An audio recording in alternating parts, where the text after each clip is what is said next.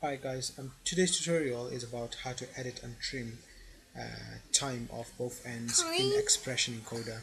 That's my dad kid, he's watching Scooby-Doo. Right, you watch that and while daddy do this.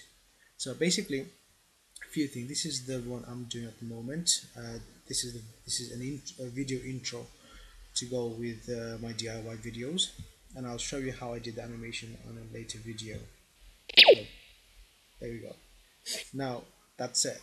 So I've trimmed that. So you got here where it says clips okay? So you can do 50 for example 50 milliseconds it's half of a second. Or you can do for example two seconds and see what happens. You saw that video earlier right?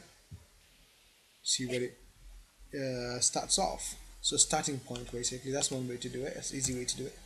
So if I were to do say one this is what would happen. Okay? Let's do zero as in like zero zero zero. So no trim whatsoever and this is where it would start off.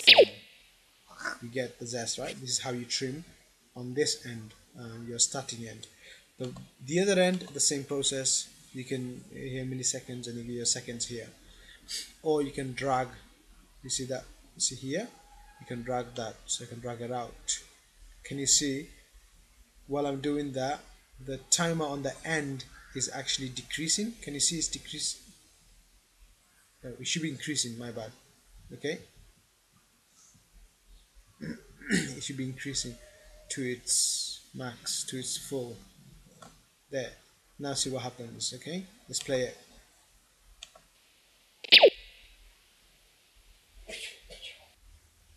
that was my boy in the background. When he hears the sound uh, the laser beam he goes that's cute.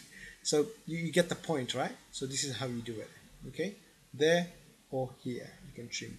Prefer to do it here because you get far more control. Well actually both. I do it both. So for example what I'll do is I'll go over with mouse to see up to what point I want to cut it off. And you see the seconds are here 2.5 3 and so on. So that's a good way of uh, doing it as well so you see at 3 point you kind of get good result as to what I want until the excess bit appear. Oh there. So roughly about here look here duration 3.939 that's where the excess bit appears. So I can do it here as well. Or I can manually enter that bit in. So there. That no that's not quite there. So maybe a bit more yeah. So a bit more. There we are. That got rid of the excess bit. Let's play it there we go. So that's how you trim uh, excess bits and time from the start and the end uh, on expression encoder.